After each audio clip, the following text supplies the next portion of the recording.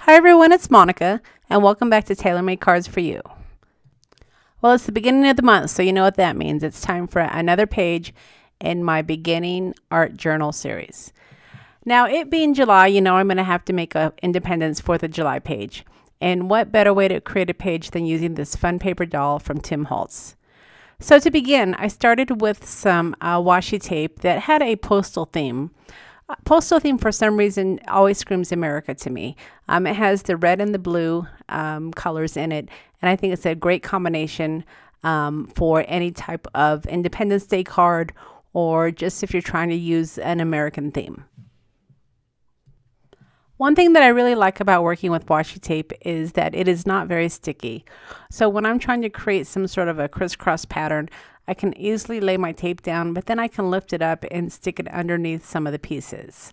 Um, so what I typically will do is I'll just kind of get my design in order and then once I have my uh, design, then I'll go back through and I'll lift up some of the pieces so that way some of the pieces that I had um, over some of the tape actually go underneath some of the lines that are going horizontal.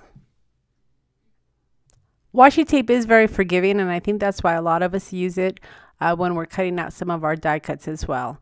It will uh, be sticky enough to hold something in place yet it's forgiving enough where you can lift it up and it won't tear any of your paper. So once I was happy with the placement of my washi tape, I did want to go ahead and kind of secure it into place using some clear gesso. Now, I could have easily used some white gesso, but unfortunately I didn't have any, so the clear gesso worked just fine. It did give me a little bit of a uh, softer tone, even though it wasn't the clear white that you typically might see um, when people are creating their journal pages. Now the gesso works in a couple of ways for me. It not only secures my washi tape in place um, so it won't lift up, but it also uh, gives my surface a nice clean slate so that way when I'm adding my color um, it will um, hold it really nicely. So after I dried my gesso, I did get out my distress crayons and I outlined some of that washi tape. Because I am going for a Independence Day theme, um, I'm working with the red and the blue colors.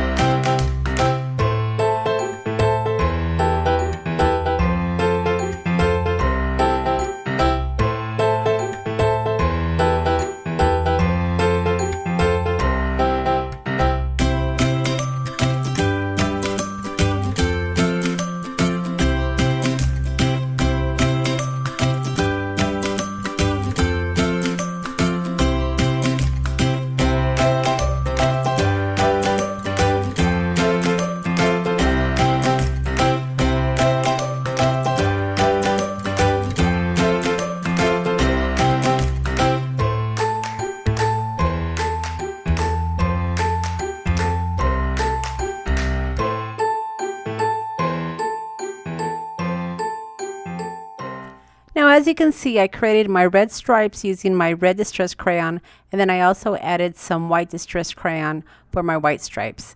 And then I'm using a uh, wet baby wipe to smear my colors. Now some of you might be thinking, oh my goodness, what are you doing? You're smearing all of your reds and your whites. But um, if you've been following me for a while, you know that I like grungy work. Um, so I didn't want my stripes to be completely perfect, and um, I really was going for the grungy look. I wanted my flag to look worn and distressed. So that's exactly what I was working for, uh, working towards when I was using that baby wipe. All right, so of course I wanted to add some texture to my um, my page. So I got out my um, distress paste along with a stencil and my um, palette knife along with my old credit card. The credit card I use often because it has a really nice flat surface and it easily helps me to spread my texture paste.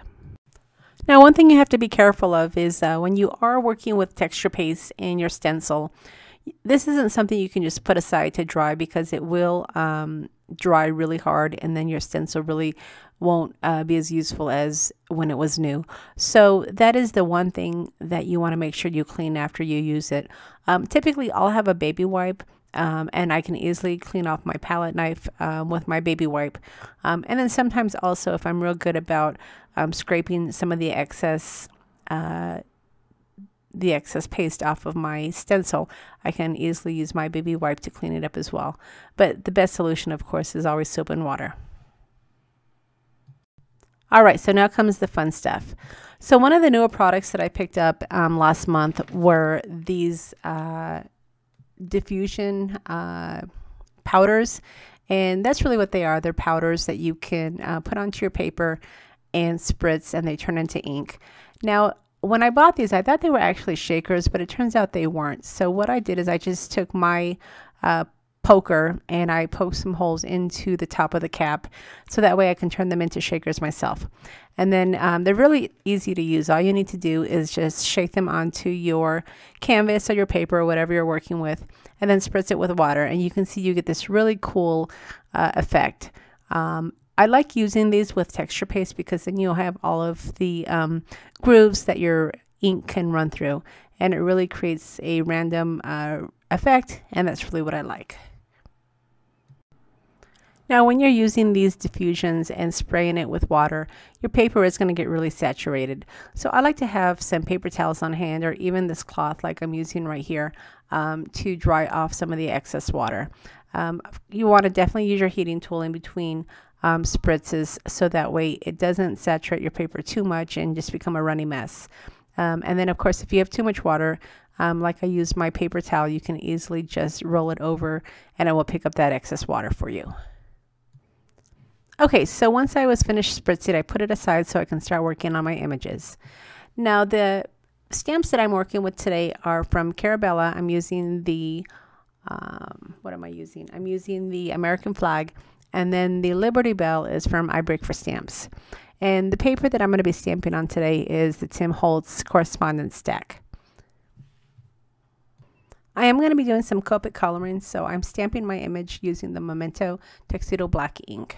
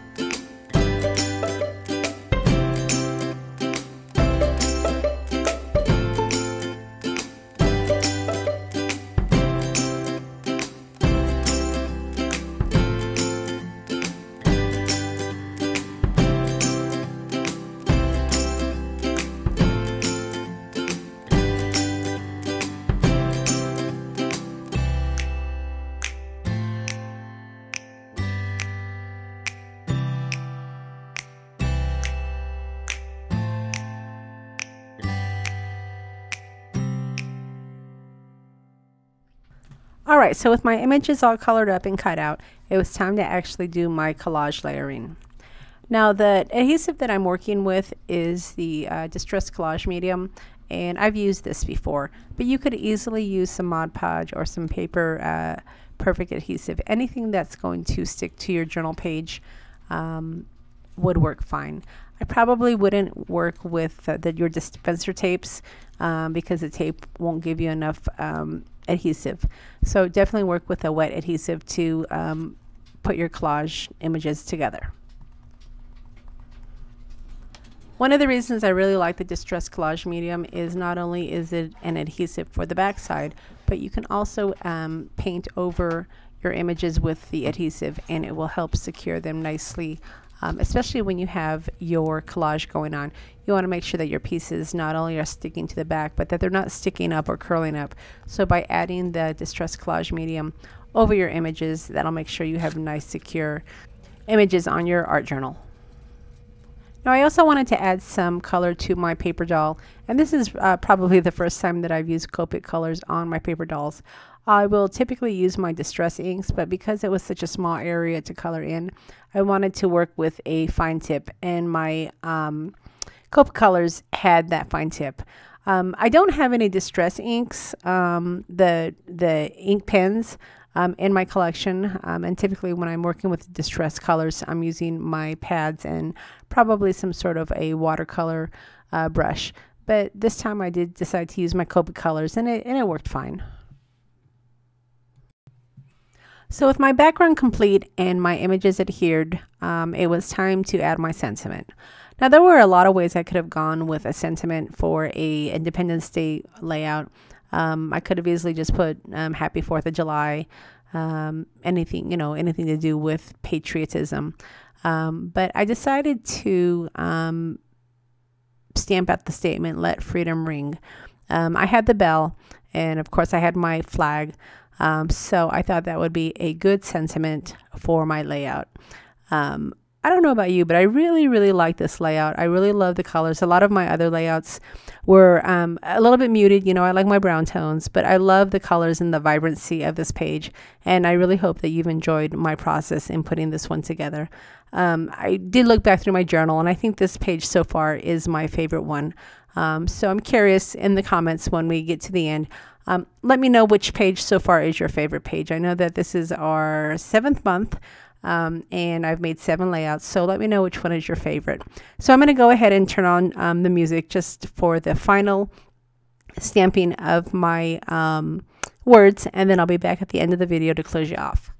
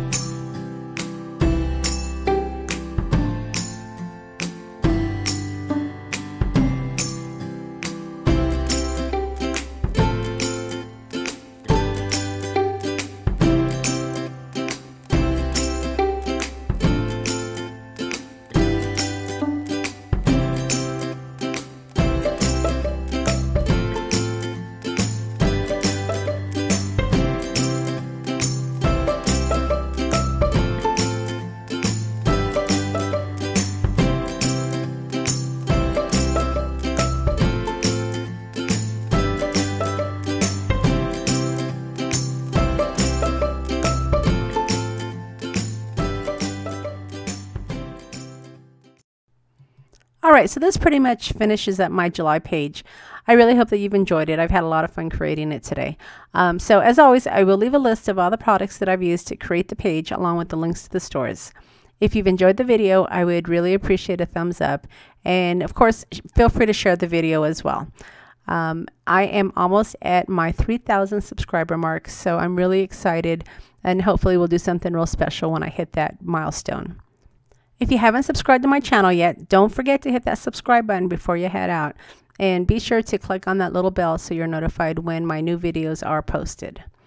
And um, as I indicated uh, a few minutes ago, go ahead and leave me a comment. Let me know which page so far is your favorite page.